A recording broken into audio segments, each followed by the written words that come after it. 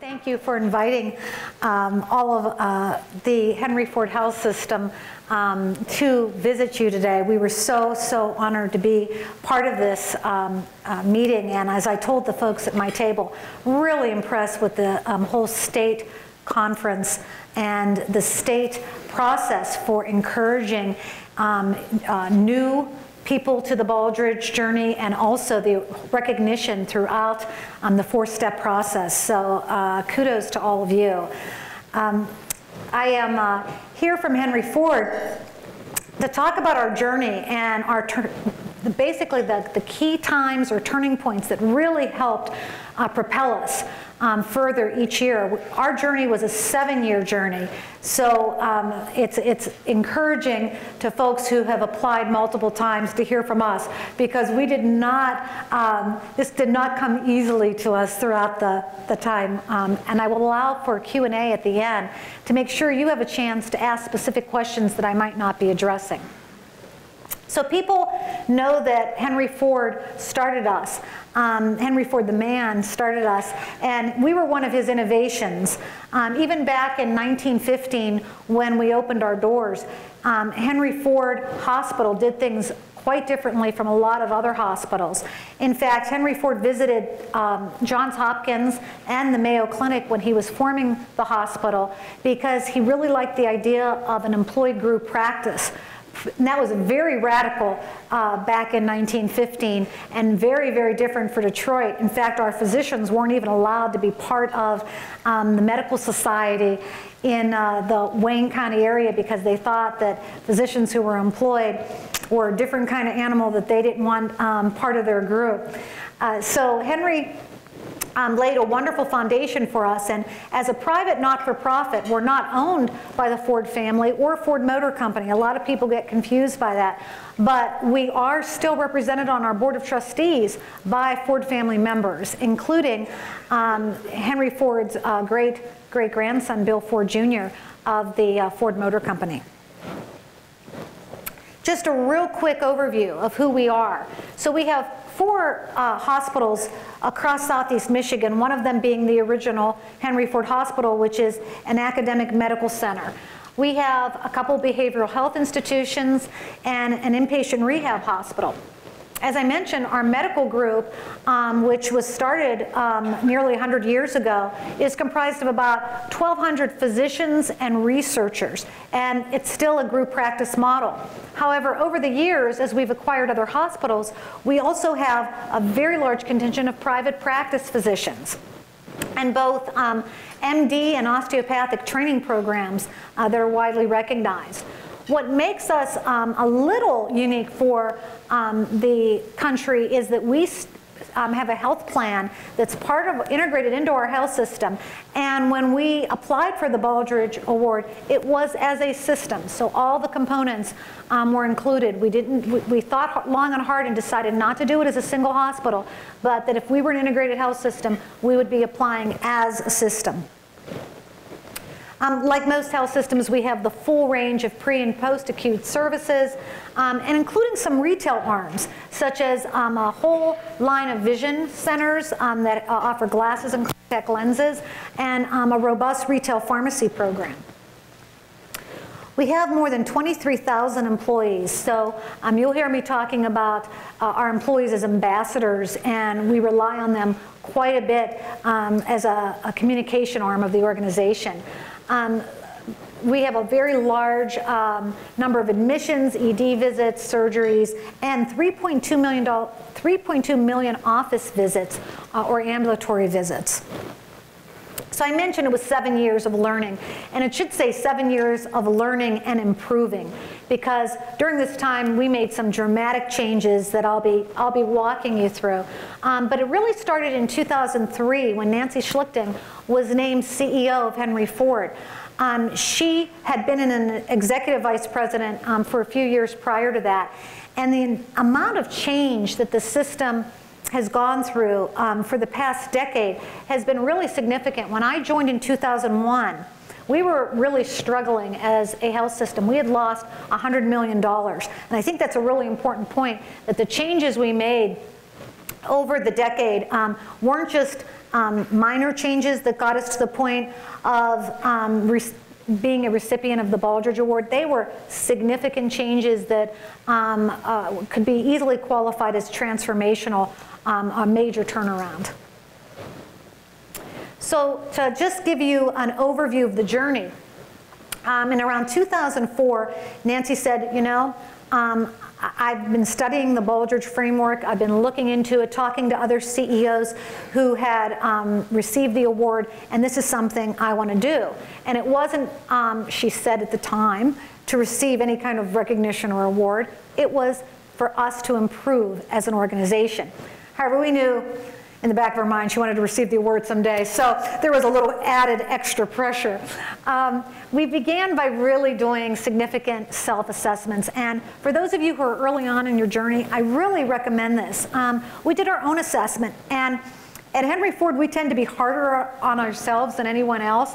And so we really scored ourselves, um, I think, very realistically, and it was very low. Um, and we had a consultant come in and uh, help us understand um, our, our um, whole framework, what was, what was strong, what really needed significant improvement, and they helped introduce us to others across the country. And so we had people that won the award from healthcare, from outside the healthcare industry, come and talk to us.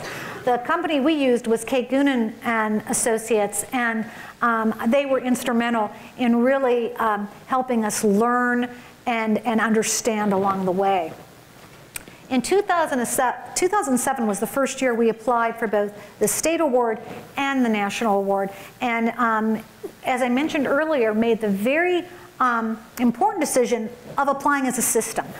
It would have been way easier to apply as one business unit or one hospital, but um, I think Nancy really believed that, that if we were truly an integrated delivery system, why would we want to hold just one piece of it out there as doing things right?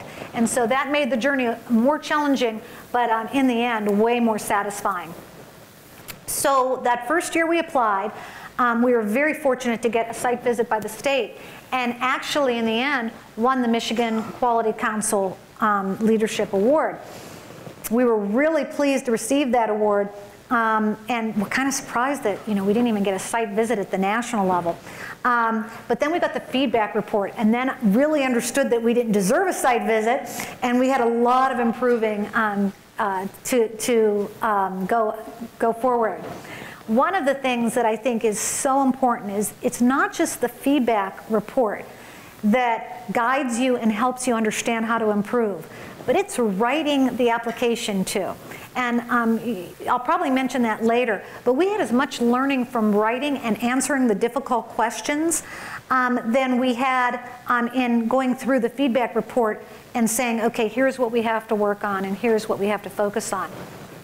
So in 2008 and in 2009 and 2010, we kept um, applying, learning, and improving. And I say that um, all in one sentence because it was being done simultaneously.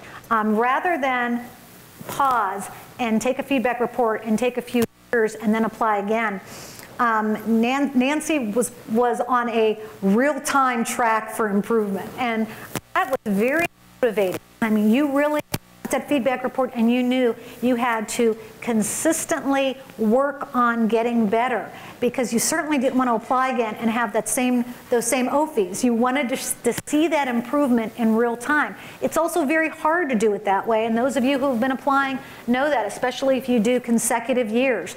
Um, you're along two parallel tracks, but if you really embrace it as this is your work. And that was something that we really had to um, embrace as a leadership team. It couldn't be, this is the Baldrige work and this is the other work. And I think that was something that a lot of us, a lot of us said at first, oh my God, how am I supposed to do all these uh, OFE work with Baldrige when I have this work over here? It should be the same work. And I think that was, that was probably a turning point that I don't even mention, but a, a very important lesson. So we, during this time, we were getting examiners trained. We had 20 plus examiners at both the Michigan and national level. And just, uh, I'll be walking through what some of those real improvements were we were making. Finally, fifth application was submitted and we were thrilled to have a site visit. And a lot of us thought, you know, this is just another piece of our learning, this site visit. Um, I don't think I don't think all of us thought that you know we would um, actually receive the award the first time after a site visit. So we were delighted when we got the call um, in November on the 21st, which if Nancy were here, she would tell you it was her birthday, and it was the best present that she could get. Um, and then we still um, notice, Mark, that that feedback report came December 14th, and we were right back at it, learning from the feedback report and trying to further improve. So creation of the pillars. We call that turning point number one, and this is a very basic thing. I, am sure many, many organizations have pillars or something similar, but why it was a turning point for us is that from a strategic planning standpoint, we were finally getting everybody on the same page in the system. And when you have um, a system as large as ours, uh, and, and we're four and a half billion dollar health system, many business units, everybody was doing strategic planning a little differently. And these pillars served as um, the overarching categories of where we would be building our strategic plan from. So we have specific strategic objectives under each one of these. And from the objectives, we have specific strategic initiatives. And we adopted that Baldrige language because um, prior to that, everybody had different words, and was it a goal you were working on and an objective, and was there an action plan attached to it? Nobody was talking the same language. So we really promote, it doesn't have to be what the Baldrige um, framework calls for, but it has to be a consistent language that everybody in the organization is familiar with and comfortable with and using. That consistency of the framework is really important. So we wrapped the seven pillars with a ribbon that we called the Henry Ford Experience.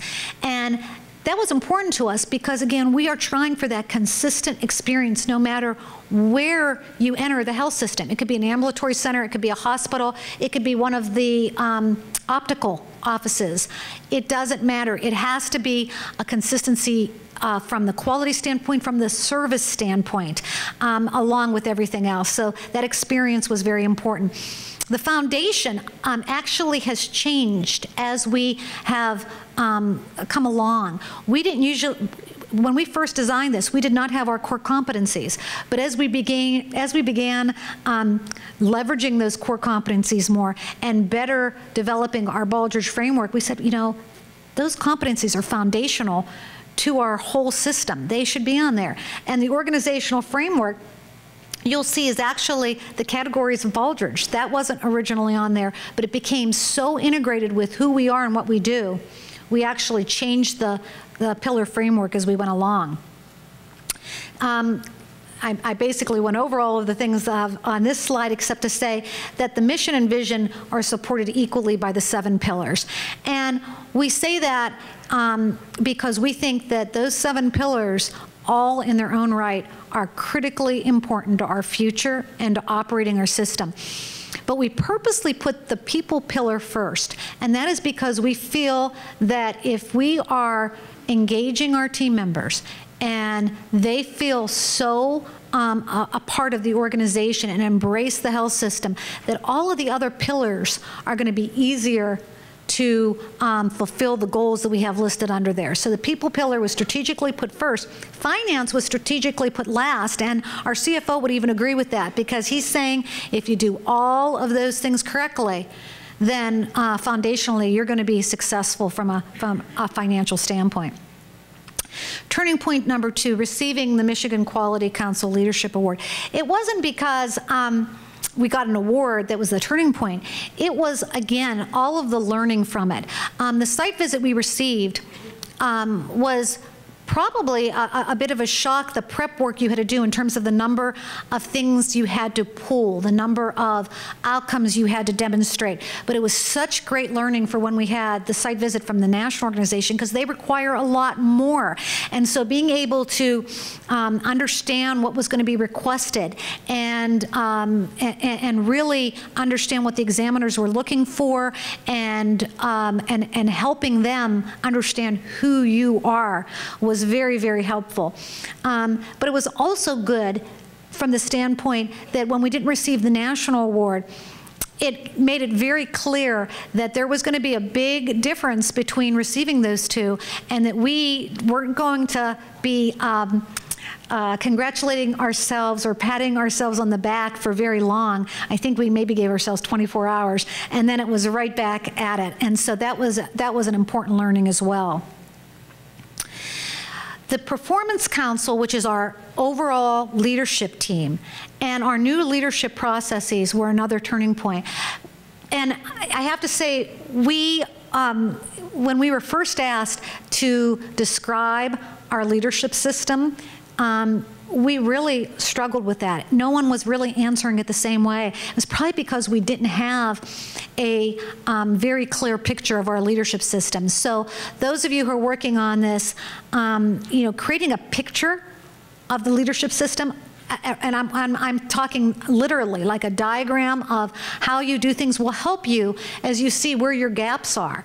Um, we did have one thing that everybody was consistent about and that was that we, and the way our leadership system was currently operating, um, we were um, uh, known as 100 points of veto when people had ideas or um, uh, certain programs or, or new initiatives that they wanted approved. It wasn't really clear where they go, or if they had to go to five groups to get approval or one group. There was not that clear um, consistent way um, to go about things. Another thing about our leadership system was that we had many groups with overlapping responsibilities. And so really defining what the objectives are for each leadership group you have and how they relate to one another really critical for people to understand um, in the organization how your system operates. So we depicted our, our leadership system. And again, this evolved over time. Just because um, we, we drew it one way doesn't mean we weren't going to improve and therefore change as we went along. And so we incorporated in this our customers right in the middle. And um, that, was, that was very important. I mean, let's, let's be very basic and say, who are those customers and how should we be developing our leadership system around those customers? Um, our Plan, Do, Check, Act we uh, made on the uh, broad circle, and we included the pillars, and we included um, our, um, uh, core competencies because again they were a foundation to our leadership system. Um, and then finally of course our vision. Where did we want to be? Because the leaders should be keeping that vision front and center um, as we moved along. So this was the uh, end result of the leadership system which really helped clarify for us quite a bit so that's when we developed the leadership organization that we have today called Performance Council. And Performance Council includes the CEOs of each of our business units, as well as the corporate vice presidents of all of the key um, support service areas for the system. There hadn't been a group that was really exactly like that prior. So there was a group of corporate VPs meet, meeting, and then there was a group of CEOs meeting, and it, it was not um, a clear decision-making organization. So once we had that in place, we started defining, so what is this group going to do? And um, the strategic planning process was at the top of the list. Let's look at those pillars and let's agree to what the strategic objectives are, what do we want to achieve in each one of those pillars. And then the business units could go about saying, okay, how am I going to help to drive that strategic objective? And they would uh, come up with each business unit strategic plan that had specific strategic initiatives to further that specific objective, and then action plans and um, uh, target outcomes to help achieve those goals. It, it sounds like it's very simple, but when you have a a system that's very large and complex, and even if you're not that large and complex, spelling it out and making it as clear as day is so helpful to um, getting everybody on the same page. The thing that we had not been doing very well at all was um, having very specific targets that were visited on a frequent basis versus biannually and then an, or semi-annually and then annually. Now, every month we're looking at our dashboard and that is allowing us to make real-time changes because if you do it six months down the road and you see that your volumes are dropping in ambulatory, really hard to change things around before the year is up. So this was allowing um, us to be very clear about who was looking at what metrics and what we were going to do about it. So one of the things that we also noted in, among our OFIs was that we were really good at looking to the future to uh, proactively decide what strategies we wanted to do. But we weren't looking proactively at the risks. And so we developed an enterprise risk council. And their whole um, mission is to really look at what risks there are to the system and mitigate those risks or eliminate them altogether. Um, and the work that group has done has been very impressive, and I'll give an example. One of the risks that was um, initially identified was um, with our IT systems, and that people had mobile devices and laptops, but there wasn't, um, they weren't protected. There wasn't, our devices were, would be easily, well, if, if, if stolen, easily um, uh, the material or the confidential information could be easily pulled by whoever, whoever wanted it. With HIPAA and with other um, uh, regulations, we knew that that was a huge risk to the health system. So we had um, um, all kinds of fun with this and um, had people bring in their devices and, um, and sort of like in hosting little parties where people brought in their devices, we um, uh, made sure that they were encrypted and we achieved in a very short time um, what we believe is 100% uh, encrypted devices, people no longer using their own personal devices to put patient, uh, confidential patient information. So that was was just one example, but really important to us achieving um, uh, or mitigating the risk, which was the goal of this group. Significantly improving strategic planning and measurement, another major turning point for us. Um, our strategic planning process, again, I don't think any of us, when we originally were filling out the um, Baldrige application would have answered this quite the same way. Um, we had different processes in the different business units to go about it.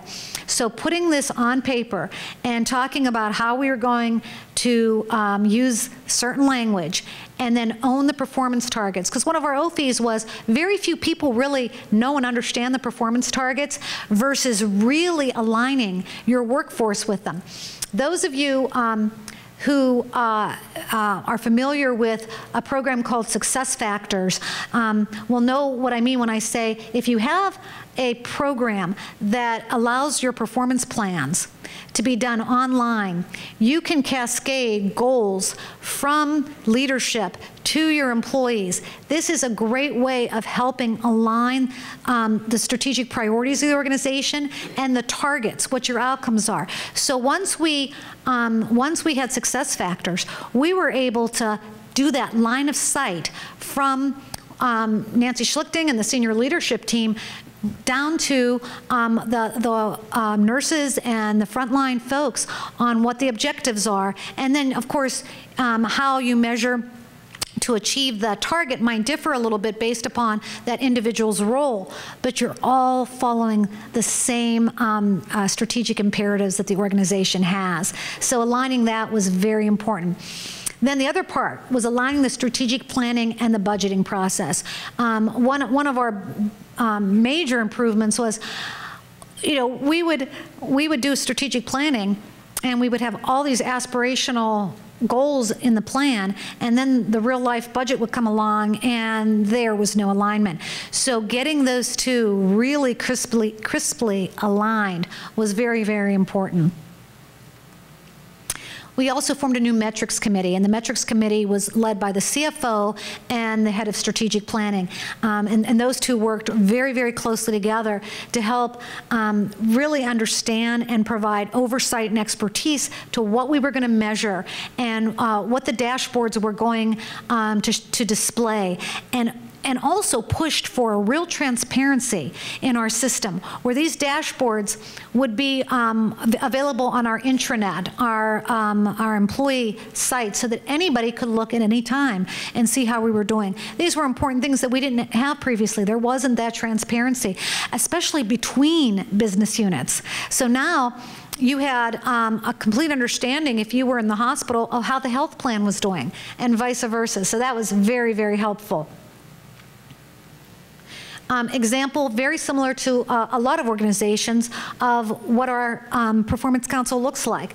The dashboard um, uh, looks at current targets and, and um, uh, has the red, yellow, green methodology of saying whether you're on target or not. And we don't spend a lot of time, uh, probably any time on the green, a little time on the yellow, but where our performance council takes the deep dive is on the red alerts and we take it down to the initiatives.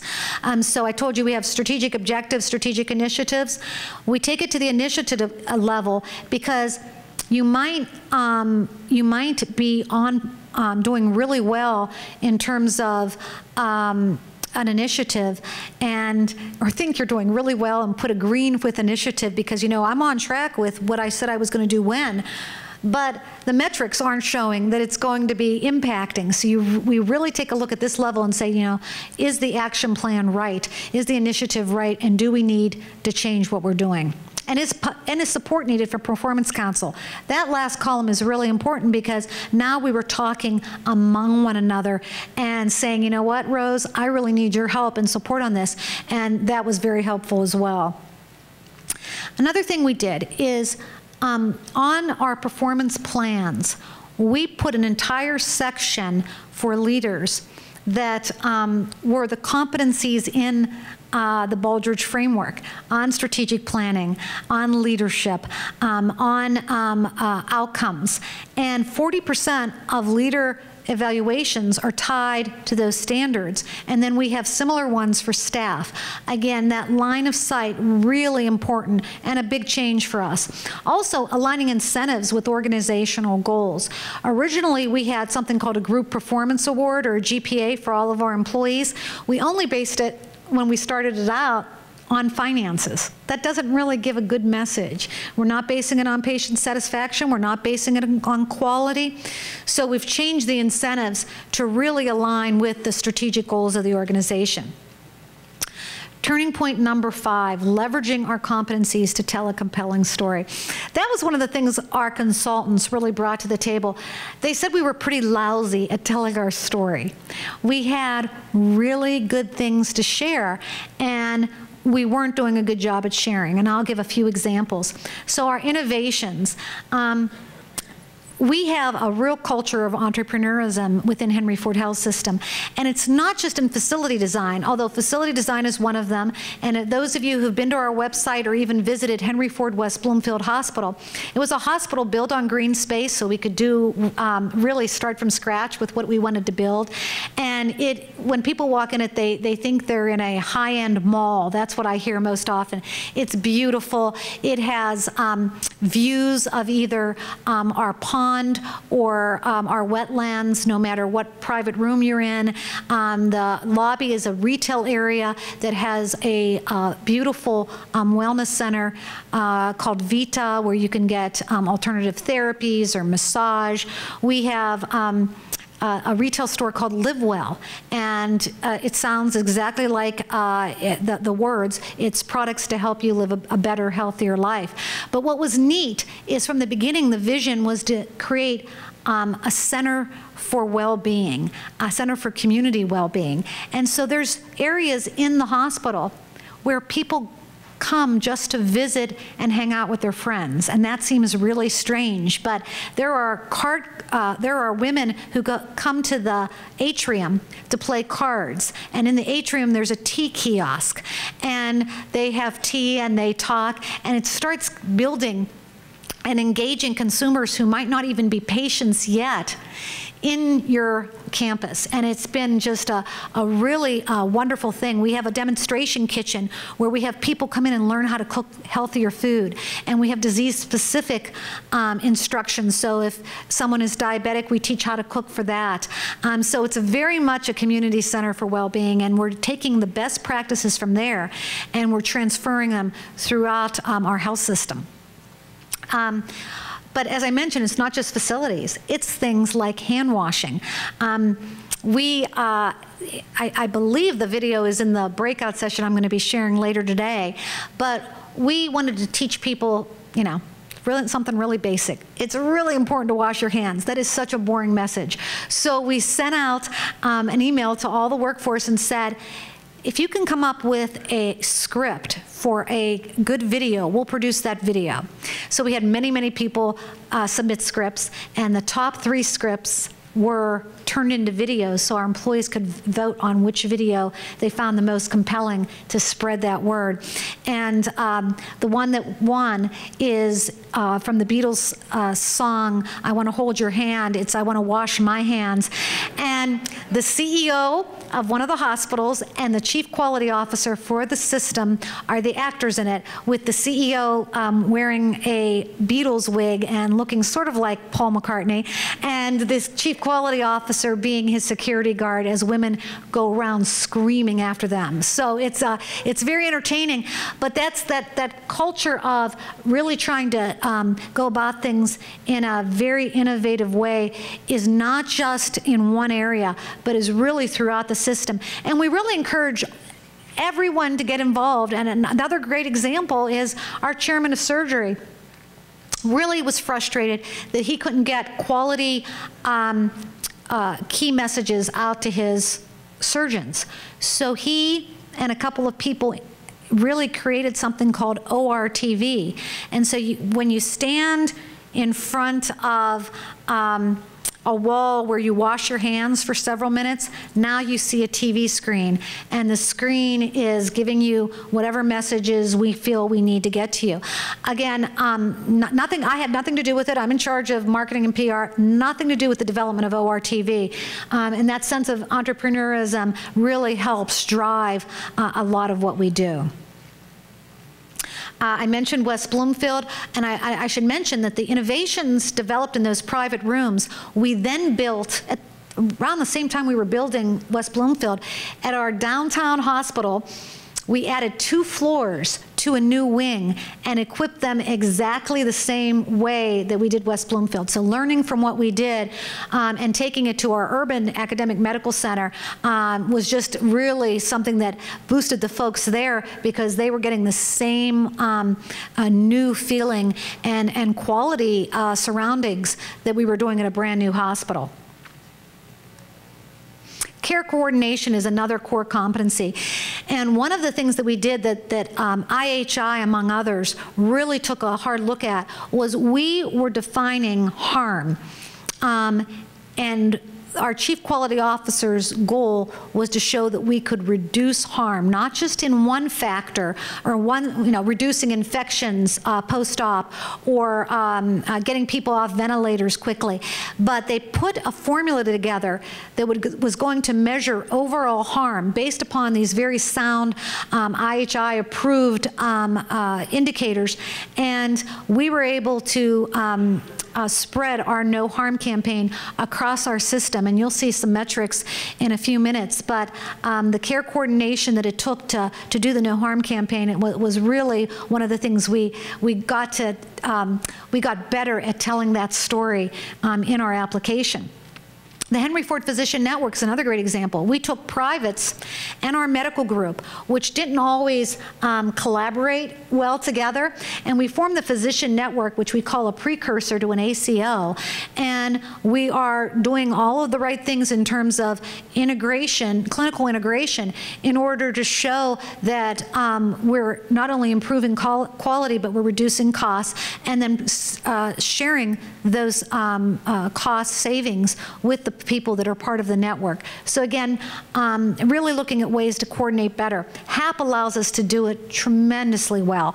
Um, HAP, our, our, health plan, has worked with us to um, innovate programs like prescription. We were one of the first in the country to do e-prescribe and show the uh, number of um, interventions that we were able to do to um, uh, improve um, people's outcomes by uh, catching the fact that um, there were two drugs they were prescribed that um, would, would not mix well together. So those kinds of things where e-prescribe really were a hallmark. And then we went out and we taught others how to do it. And I'm talking others, competitor others. HAP went out and taught um, many of the health systems that are in their network um, how to get on e-prescribe. And again, that, that, that shared, shared learning for the overall uh, betterment of the community, the medical community, was really important to what we did. We also feel that as a major employer, one of the top in um, the state of Michigan is we need to be an economic engine and we need to care about the community where we reside.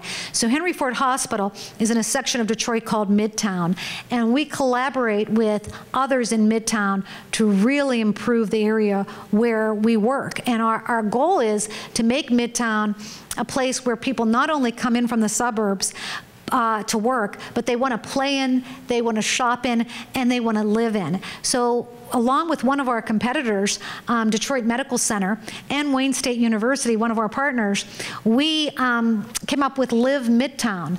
And Live Midtown is grant funded, although all three of us donate money as well into it.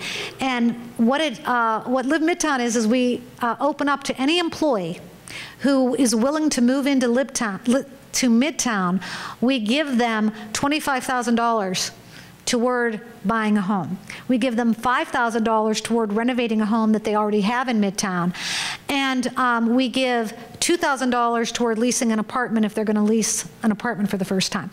You wouldn't believe how well that's been received. And again, we couldn't do this without um, collaboration with partners and the funding agencies who are trying to boost up Detroit. This has gone so well that the downtown, three of the major companies downtown have done a um, live downtown and we're seeing more and more pop up so very important another thing we've done is we've um, acquired 300 acres across the street from henry ford hospital and we not only want to use those acres to develop um, new uh, components of our medical campus but we want to partner with developers to have housing retail office space. And we have our, uh, our first um, company moving in this year. We just are receiving the approvals from City Council on rezoning. And it's going to be um, a distribution, a medical distribution vendor of ours. So we're really trying to attract those who are our partners um, to develop Midtown as well. We have many community health collaboratives. We know that attacking the problems of obesity, childhood obesity, and infant mortality we can't do on our own. So our chief wellness officer, who used to be the um, state's Surgeon General, she was Michigan's first Surgeon General, um, chairs a childhood obesity task force and a infant mortality task force and is doing great work in trying to solve some of these big problems along with our competitors, um, funding agencies, and others.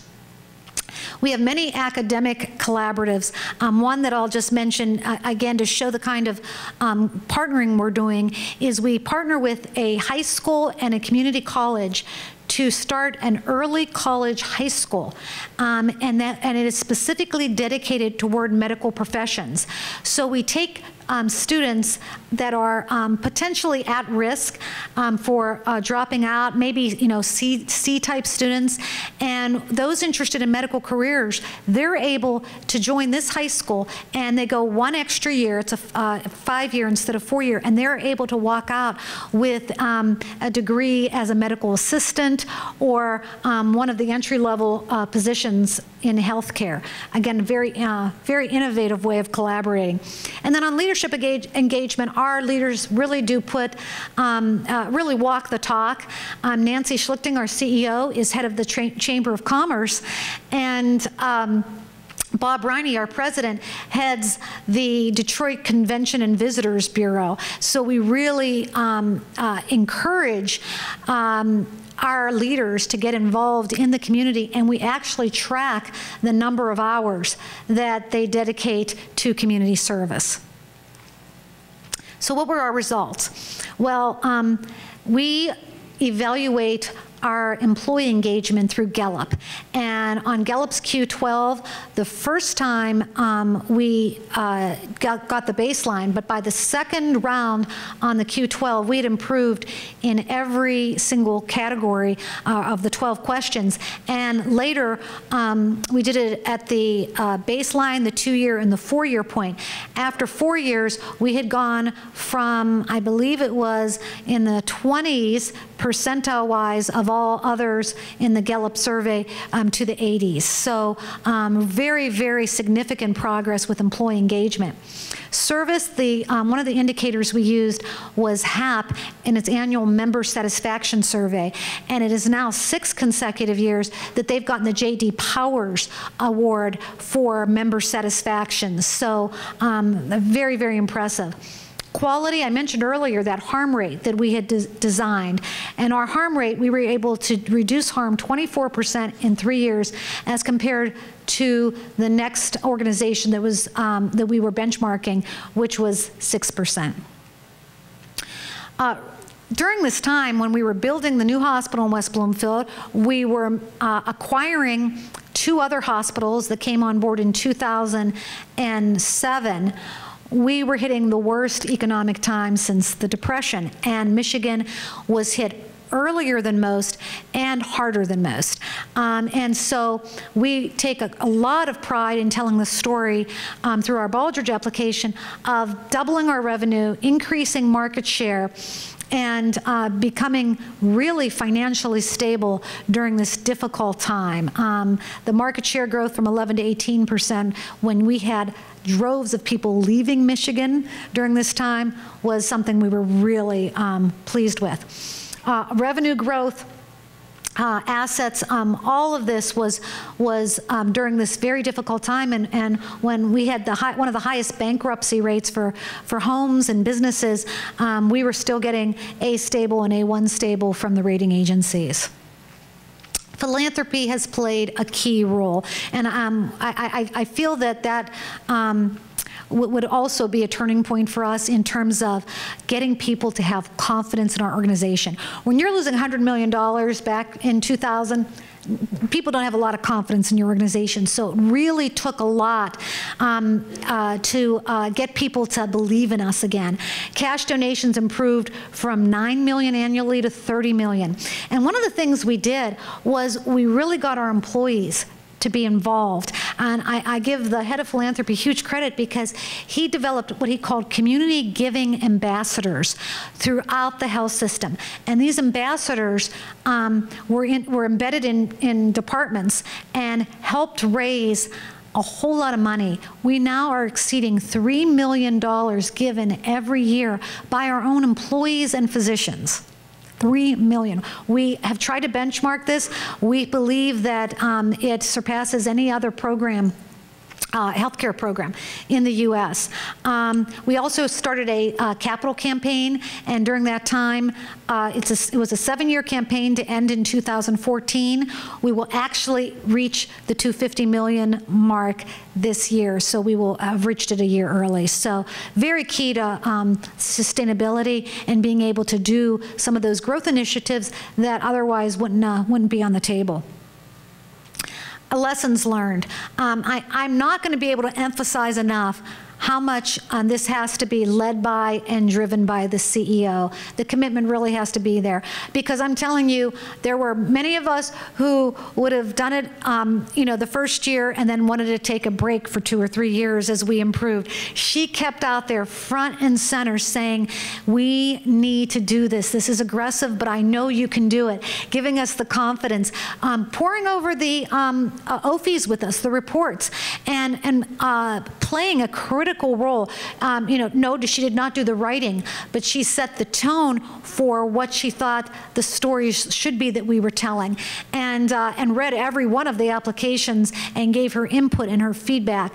Um, but really, it was it was driven by her and had to be driven by her because we would have not ended up where we were without uh, without her leadership. And, and, then leaders as champions and co-leads. I want to emphasize this as well. I was I was co-leader for category three for a few years, um, and then they I was really mad. But then they they switched me to category one, and I was getting so good at category three.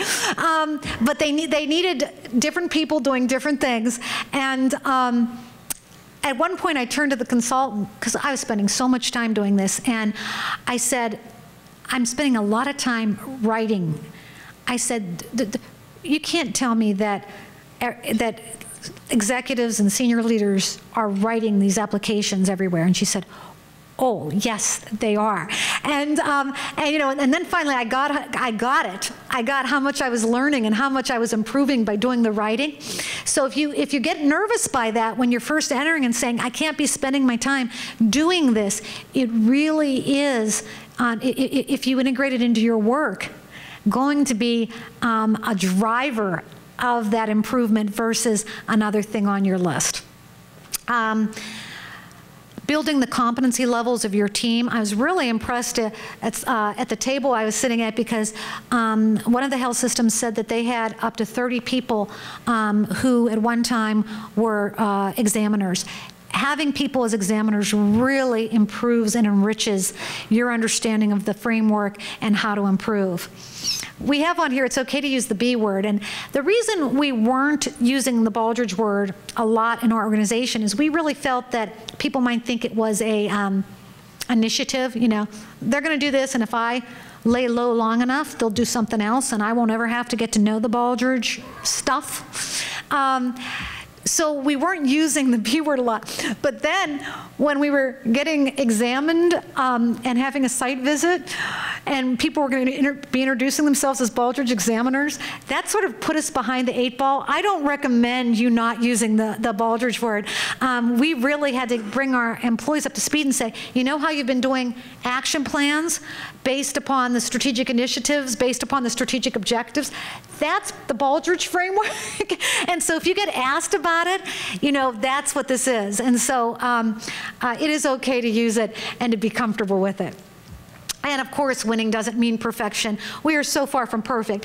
But it, it, means that you're getting better at seeking perfection and that you're getting better at utilizing um, uh, your analysis to improve. And, and we really feel that way. And I had to put in there, um, is it an award or strategy? Because you know some people said, "Oh, this is just something Nancy wants to receive this award." Um, but if you want to be really honest, it's an award and a strategy because um, all, all along we were doing this to become uh, an excellent organization, to perform better. But boy, it, it, was really nice to be able to say we received the award as well. Um, the journey continues, and I, I have to say. Um, that we're working on all of the things that we need to work on. Um, one of the things that I loved, one of the examiners, she said, you know, you, you guys say that you do really tight planning at the front end. And then because you're very large, you, are a little looser and let the business units um, uh, execute, and then you become really tight on the um, measuring part. And she said, in some cases, I noticed it was tight, loose, loose. So we're, we're working on those um, you know, areas where we feel we need to um, be better at measuring and better at, at, at changing the path if we're not doing well. But the real um, journey is going to continue once we are closed with our merger on October 31st of last year, we announced that our very large, complex health system had signed a letter of intent to merge with another large, complex health system. Uh, many of you might be familiar with Beaumont. Uh, Beaumont's uh, based in Royal Oak, Michigan. It's a suburb of Detroit. They're a $2.5 billion organization, very widely respected. Um, we came together and are in the middle of due diligence. We are hoping to have a definitive agreement by May and then go through all of the uh, regulatory approvals. We have targeted end of summer for a close date. So those those in the organization and Henry Ford who are who are real disciples of Baldrige, who've been involved in the process from day one, said so is Beaumont going to be adopting the Baldrige framework and are we going to be able to get our hands in there? And I, am almost sure the answer is yes, we will. But it will be a whole new journey for us um, because it's a very different system and um, uh, we will want to use that same platform, I'm confident, and because we've, we've seen so much improvement. So it's a very exciting time for us um, and we, uh, we are um, uh, really believing that the merger is just one little step. It's going to be about um, adopting all of those um, performance excellence indicators we worked on all along that will get us to the point where we want to be and where others may want to partner with us. So um, very, very excited about that new venture. I am, um, before opening up for questions, we like to say that um, our employees tell our story better than any of us. So for the site visit, rather than um, only at the opening session having the CEO speak or a few leaders speak, we let our employees speak by um, creating a video that talked about what they um, what they do to improve each and every day. And I wanted to share that with you.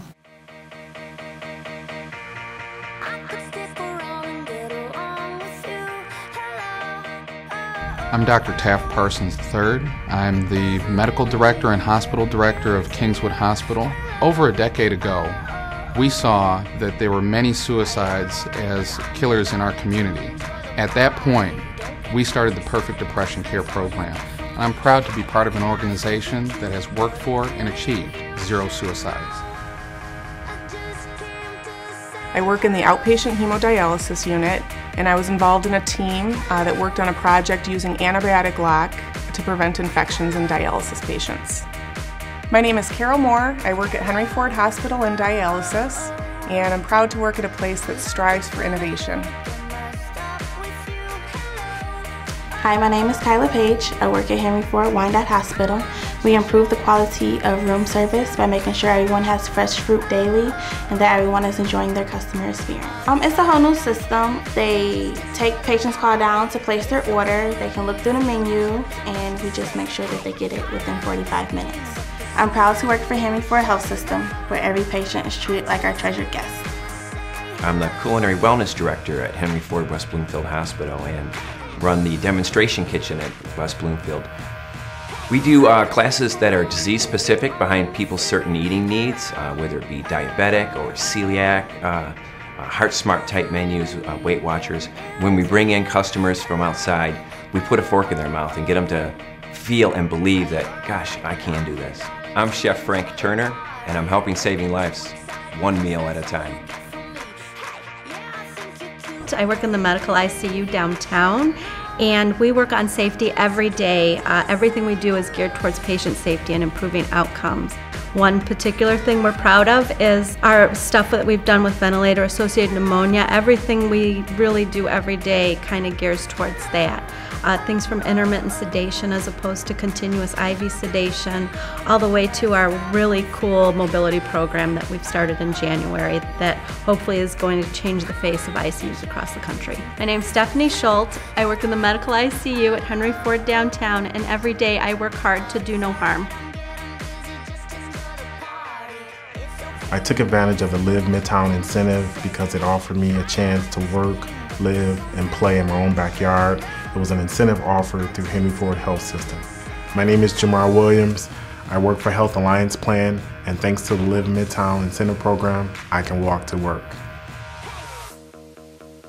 I'm the Director of Faith and Community Health for Henry Ford Macomb Hospitals. Our purpose is to help those who are uninsured, those who don't have access to health care, to gain what they need so that they can be healthy, contributing parts of our community. We've been helping to form what is faith community nursing and the model of free clinics that we have all over this nation.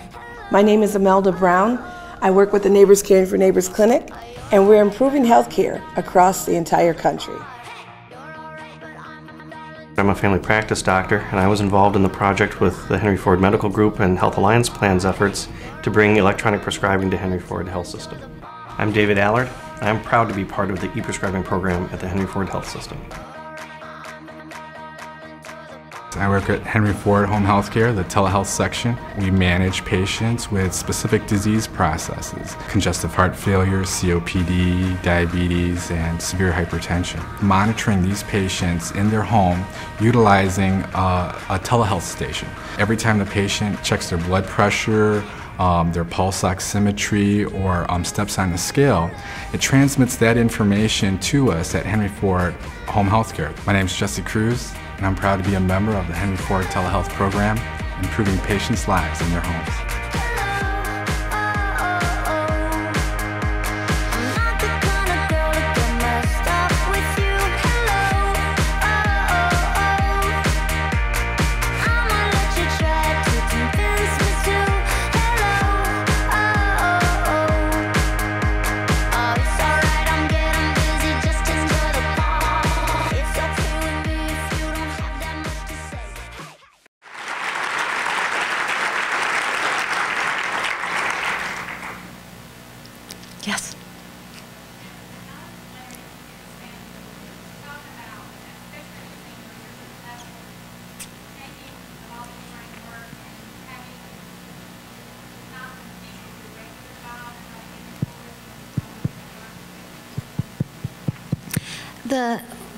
Once, once Nancy set the stage for Baldrige being um, the platform we were going to use to achieve excellence across all of our pillars, the senior leaders all had to step up and really um, participate actively in one of the categories. It wasn't, you know, it was yes, that's what we're going to do.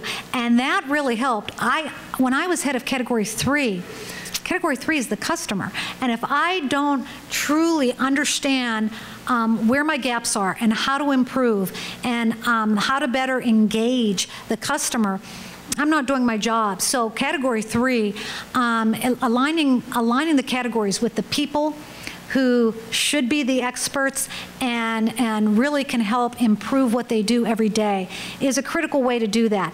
Eventually, I, I went to category one because they didn't have a person doing leadership, um, that, that person left the organization. And so um, that was really a great learning for me. So it was outside my comfort uh, level, but I learned a whole new piece that I think just made me, uh, you know, a better a better leader in general. Um, but I think matching them up, um, and we not only had what I call subject matter experts or leaders being the co-chairs, but we then had executive champions as well because we had to figure out how to involve the CEOs of the business units. Most of the co-leaders were people that were um, executive v or uh, senior VPs or VPs of the area, so strategic planning. Co-chair was the VP of strategic planning. But how do you involve the CEO of Wyandotte Hospital or the CEO of West Bloomfield? They became champions. And so you met with your champion on a regular basis. You really have to figure out how to engage them and how to show them that what you're doing is helping further uh, their goals and their progress. Thank you. Yes.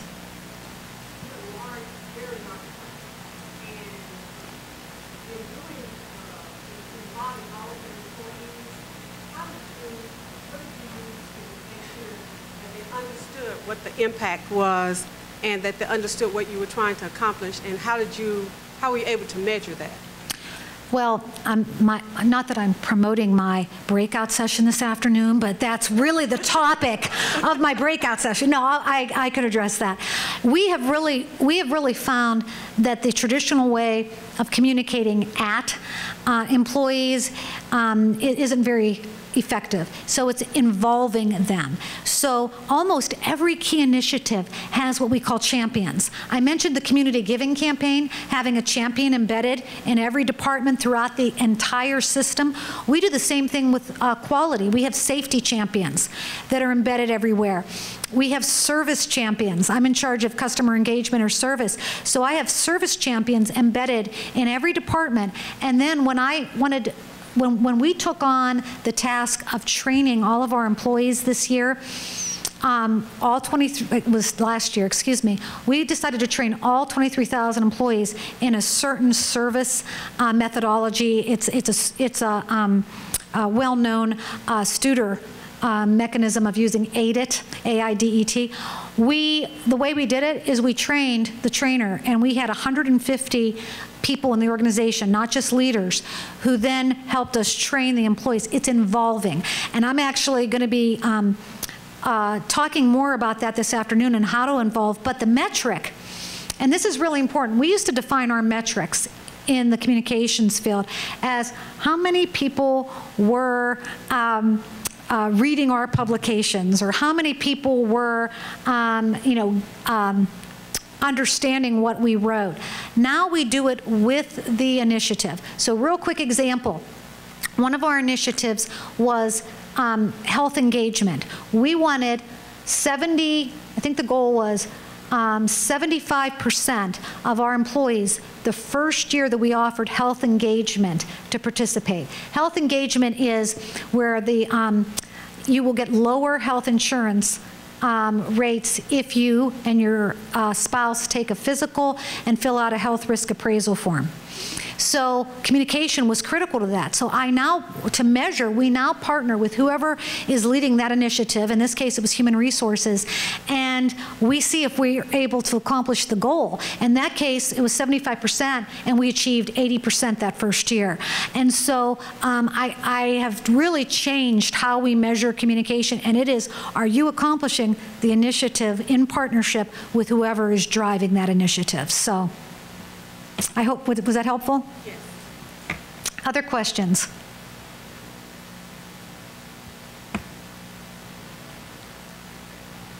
Yes. One more? Okay, I'm getting the okay, one more. Since nobody else is asking, are you using the Baldrige criteria in any way in your due diligence to accomplish the merger? Well, I think in some respects we are. It is so early on, though, that right now it's a lot of the work is being done by attorneys and um, our consultants a lot of what happens with our merger is there's information we have and there's information Beaumont has, and only certain outside people can look at them together because of all the restrictions on competitor um, sharing of competitor data. So I don't, I can't say that we're doing anything um, uh, really closely related to Baldrige at this time, but um, we see that as the way to really integrate the two organizations. And this isn't going to just be a holding company where one acquired the other. This is truly a merger and we're forming a new company. And so we see that framework being critical to forming the new company. Thank you. Thank you, everybody.